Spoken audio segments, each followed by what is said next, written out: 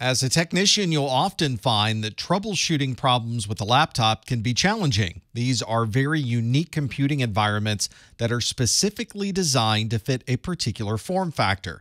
And because of that, it can be a very challenging repair if you need to get inside of that device and make a change. You might often find as you look at laptops from different manufacturers that some laptops tend to be easier to repair than others. You'll often become very knowledgeable in one particular manufacturer's laptops because that's the one that your organization will tend to purchase the most. And you'll find over time you'll become much more comfortable with repairing those particular brand of laptops. Many laptop manufacturers will provide service information so you can learn more about the process required to replace the keyboard, the display, or other components within the laptop. Our laptops are mobile devices, so it's important to have some type of power source when you're traveling. Many laptops will have batteries included, and usually these batteries are very modular. You can unplug and reconnect those batteries to your laptop, and you don't have to take apart the laptop to gain access to that battery. Some laptops will have batteries inside of the laptop case, and those obviously are not designed to be modular. Many of the battery technologies we use today are lithium ion or lithium ion polymer. These batteries are designed to be fully charged. You can discharge some of the battery and charge it back up again without worrying that you're causing a memory effect or limiting the amount of capacity that battery might have. However, each time you charge that battery, it diminishes the capacity just a bit. So after a number of years, you may find that you have to replace the battery because it's not able to maintain the charge that it once did.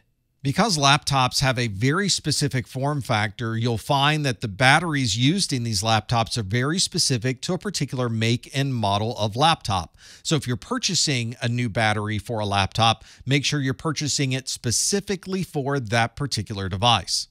Here's an example of a very modular battery configuration on the back of a laptop. There are two different batteries underneath this empty space, and you can see they will slide in and lock into place. You can unlock the battery with the switch that's on the back, pull it out, and replace it with a new battery. This means if you're traveling and you use up the capacity of one battery, you can easily disconnect that battery and connect a fresh one to your laptop.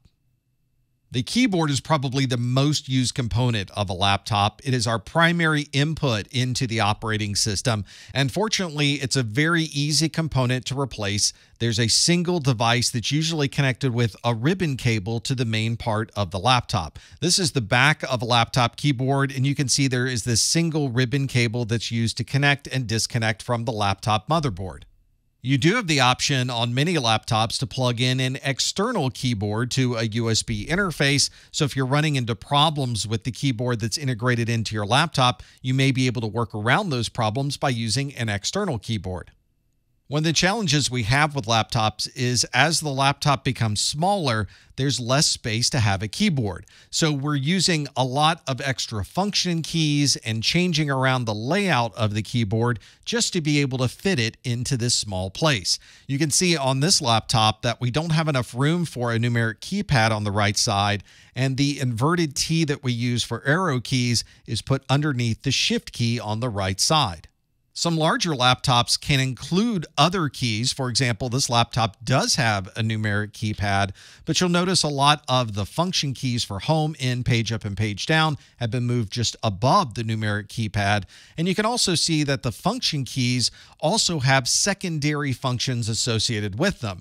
So the key that you would normally use for F1 has a question mark, which is probably the help key for this particular laptop. Function 2 looks like it is a brightness or brightness down setting, and F3 is a brightness up setting. The way that we would access those secondary functions is to hold down the function key on the keyboard and press the appropriate key on the function keypad. Because these laptops are mobile, we tend to sometimes have things fall within the keyboard itself, or the keycaps themselves might be damaged and we might have to replace them. These keycaps, though, are very fragile, so make sure you check with the manufacturer's instructions and you follow exactly what they recommend when changing anything with that keyboard. You don't want to break any part of the keycap itself when you're removing it or placing it back onto the laptop, and you want to be sure that the mechanics underneath are not damaged at all. This picture shows just how delicate these tiny little plastic pieces are underneath the keycaps, so you want to be very, very careful when doing any type of maintenance on that laptop keyboard all of the programs that are executing in your operating system are executing in memory. And if we ever need to increase the amount of memory in our laptop, then we'll probably want to use SODIMM or the Small Outline Dual Inline Memory Module. This form factor is very common for laptops and other mobile devices, and often there is a window or an opening at the bottom of the laptop that allows you to easily add and remove these memory modules. Some laptop manufacturers have decided not to create a modular way to change the amount of memory inside of the laptop. And in those cases, the memory is not on a SODIMM module. Instead, it's physically soldered to the motherboard of the laptop. This means that you can't upgrade or change the amount of memory in that laptop. And if you needed to make a change to the memory, you would have to replace the entire motherboard for that laptop. And that is certainly a very costly endeavor when all you might want is additional memory in your system. Here's a picture of a SODIMM. This one is in context with everything around it. So you can see this is a relatively small memory module, especially when you compare it to the larger DIMMs that you might find inside of a desktop computer. To be able to install the SODIMM, you place it into the memory slot on the laptop, push it down so that it locks, and now you have additional memory in your laptop. Our laptops also need some type of storage space so that we can retrieve or save files to that system. Older laptops might have storage in the form of a magnetic disk. This is the hard drives that we traditionally think about. These are spinning physical drives, but they're in a form factor that's around two and a half inches. This two and a half inch form factor works well for these portable platforms, especially when you consider that desktop platforms have the larger three and a half inch size hard drives.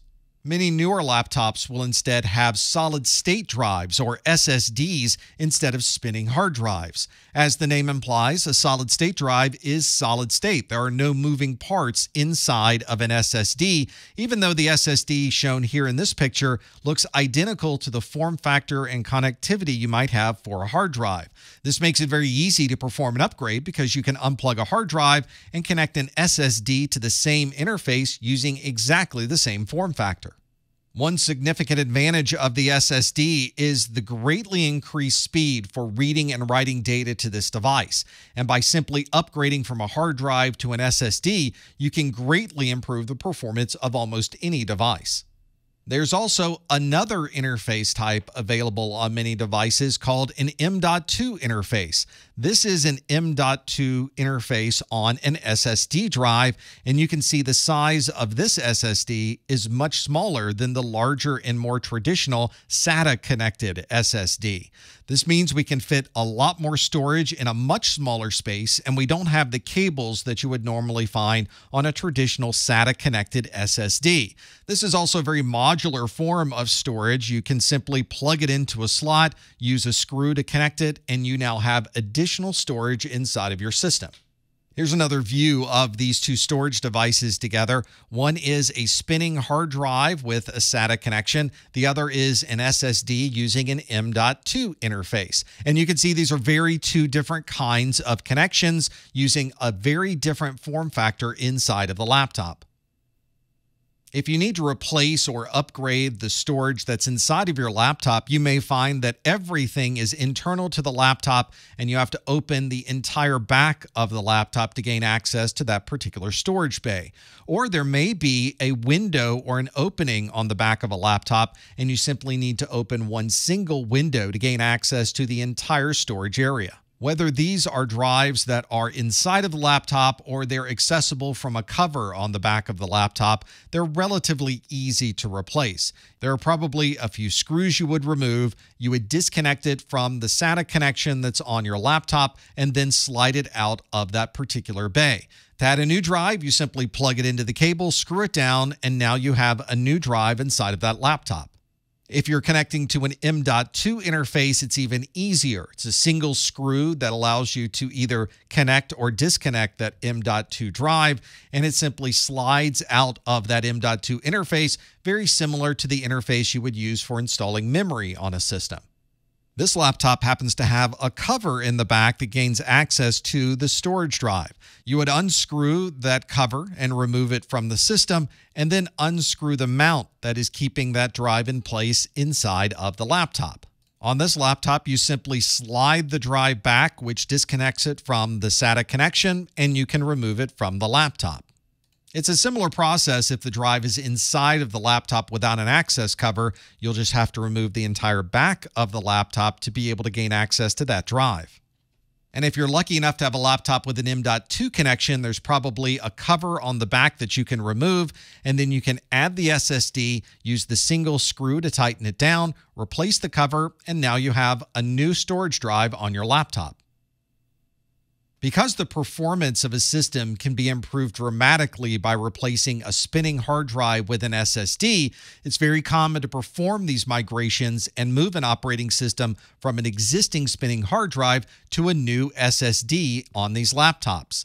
You can do this a number of different ways. One common way to do it is to install an operating system on the SSD and simply move over a user's documents and any applications that they might need. However, this can be time consuming because it requires an additional operating system installation, and then you have to manually move over everything that user might have in their user documents and then manually install any applications that are important for that user. Another way to migrate from a hard drive to an SSD, and a method that's perhaps more elegant, is to create a clone or an image of the hard drive and move that image to the new SSD. This means that you don't have to install a new operating system on the SSD. And when you move this image from one system to the other, you're moving everything, all of the user's data and all of the user's applications. To perform this migration, you'll need software that can create the image on the hard drive and move that image or copy it onto the SSD. There are a number of applications that can do this. Many manufacturers will include an application with the SSD that can provide this imaging function, but there are many commercial and open source options available. Some organizations will create one single image file and use that image file to create multiple copies across multiple systems. You can also perform a drive to drive image where there's no intermediary image file. You're simply taking everything from one system and copying it sector by sector over to the drive that's on another system. This would require that you either have two systems running simultaneously so you can perform that drive to drive image, or the system that you're using supports having multiple drives inside of it simultaneously. On many newer laptops, you may find that wireless functionality using 802.11 or Bluetooth connections are built into the system board or motherboard of that laptop. Older laptops may include mini PCI or mini PCI Express interfaces so that you can add additional wireless connectivity. For example, you could plug in one of these cards and you might have 802.11 access that will provide you with local area network coverage on wireless networks. Or this may be a Bluetooth connection so that you can connect over a personal area network to earpieces, speakers, and other Bluetooth components. This is designed to be user replaceable, so there's usually a cover that you can remove on the back of the laptop that will allow you access to the Mini PCI or Mini PCI Express interfaces. This is an older laptop that has a couple of storage bays. Here's the memory in the middle of the system. There's some cooling here for the CPU. And you can see right here on the bottom right are two mini PCI Express interfaces. One of these is for wireless local area network, and the other is for a wireless personal area network or Bluetooth. Here's a better view of these. There's actually three slots available on this laptop. We're using two of them, one for 802.11 and the other one for Bluetooth. But there's a slot right in the middle specifying for wireless wide area network, which would be a cellular connection so that you can use a third party cellular provider to gain access to the network when you're away from 802.11 or any other type of network. These cards are very modular, so it's very easy to slide one into a slot, push it down, and you've installed the card. For these wireless cards, there are usually antenna wires connected as well, so you would connect those to the appropriate ports on that wireless card. Our newer operating systems may provide us with additional authentication options, which can be really useful on a laptop computer. For example, instead of typing a password to gain access to the system, you might want to use biometrics. Our operating system can look at our face, it can look at our fingerprint, and be able to determine if that's really us and if we should gain access to the system. There are usually two components to this. There's the software in the operating system so that it can support this method of authentication. And then you'll need some type of hardware that can provide either the view of your face or the view of your finger so that it can determine if that's really you wanting to gain access to the laptop. If you look at the options for authentication in your account settings in Windows, you'll see the different options that are available. We're all very familiar with the password option, for example, but if you wanted to use biometrics, you could use Windows Hello Face, which will use the camera on your system to look at your face, or use Windows Hello Fingerprint, which uses a fingerprint reader. Since it's difficult to duplicate your face or your fingerprint, these are relatively secure ways of authenticating into your laptop. And in some cases, you might use multiple forms at the same time to provide additional factors of authentication. For example, you may have to type a password and use your fingerprint just to make sure that you really are the person gaining access to that laptop. This is the laptop keyboard we were looking at earlier. You can see on the right side underneath the keyboard is this small sensor. That's your fingerprint sensor. So to be able to authenticate to this system, you simply slide your finger across that sensor. It will recognize your fingerprint and give you access to the operating system. We're also seeing NFC or near field communication being used more and more with laptops. It's a technology we've been using for quite some time on our mobile devices. Now we're starting to see it integrated into our laptop systems. This allows us to transfer data or perform authentication to the device without physically touching the device. If you're in a store and you paid during checkout with your phone or your watch, then you were using NFC. But you could also use your phone or your watch to authenticate to the laptop. This is great if you're in a hospital or a warehouse where you might be using this laptop only occasionally and you need it to quickly authenticate each time you walk up to the laptop. By using your phone or your watch, you're able to provide that authentication without having to touch anything else on the system, input any extra passwords, and quickly gain access to the operating system.